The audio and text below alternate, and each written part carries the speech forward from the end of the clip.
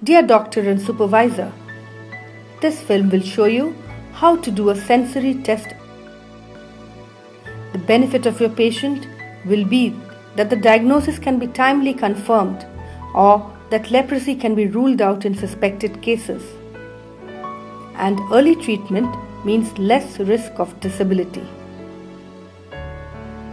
In addition, the sensory test is used during follow up of the treatment to timely detect new nerve damage.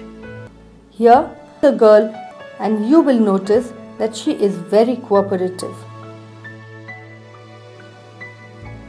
Start your test in normal skin and continue thereafter in the patch. I tell her to point the touched site with her fingertip. Now we practice it with open eyes.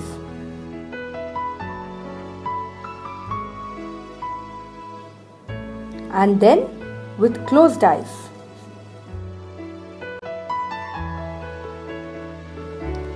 If there is misreference of more than 3 centimeters, this means a definite sensory loss.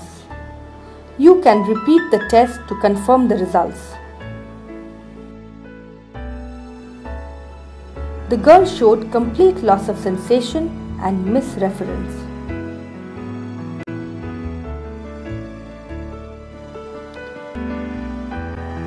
There is clearly loss of sensation in the patch. This patch shows definite loss of sensation as well. When a patch cannot be reached by the patient, then he may count the number of times the ball pen touches.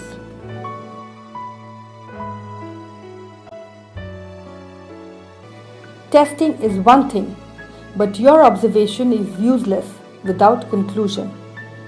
So, what if the whole patch may not have definite sensory loss?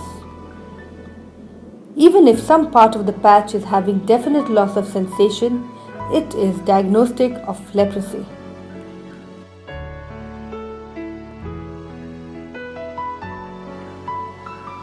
Testing should never be done in a hurry. Take care to give enough pause between the touches. The ball point should tap gently without stroking. Ensure that the person cannot see your site of touch. The loss of sensation over the patch generally remains after complete MDT treatment. The ulnar nerve is tested on the side of the little finger. The median nerve is tested on the side of the thumb. Care should be taken to examine a minimum of two points on each nerve area, the most proximal and distal to it, so that each nerve is tested. An examination is not complete without proper recording. The posterior tibial nerve is tested on the sole of the foot. Two main branches should be tested at a minimum of two points. One serves the medial sole, the other one serves the lateral sole. It is always advantageous to also test over the heel to examine a third branch of the posterior tibial nerve. The most important nerve, the posterior tibial is often neglected while examining. This is often due to the uncomfortable position of the examiner to test this nerve. To examine the lateral popliteal nerve, sensory test is done on the dorsum of the foot and the lower part of the leg. It is important to record normal sensation as baseline so that any deterioration in future can be detected. Recent sensory loss, this is less than 6 months duration, can be recovered by prednisolone treatment. Therefore, the history of duration and the patient record should not be forgotten. If there is loss of sensation, it indicates the risk of developing ulcers and the need of self care and protective footwear.